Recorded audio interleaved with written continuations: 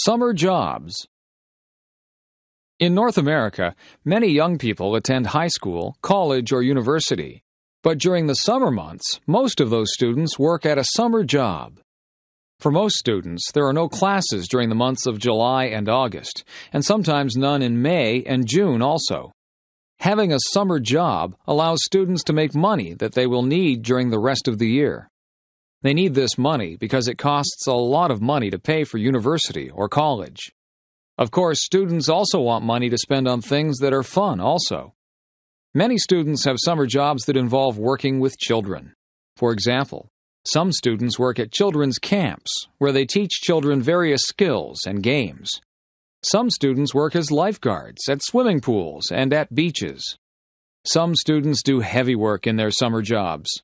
For example, some students find jobs as construction workers. Other students work in factories, and some students work on farms. There are other students who find jobs mowing lawns or collecting trash. Quite a few students work in stores. Some of these students have jobs as cashiers, and some have jobs putting products on store shelves. Other students work in restaurants, as waiters, or as cooks. Other students work in offices. Some of them work as assistants for other employees. Their tasks might include typing letters, programming computers, or delivering mail.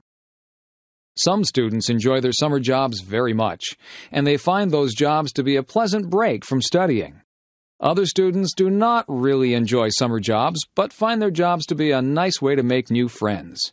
But nearly all students who have summer jobs are pleased to have the chance to earn some extra money.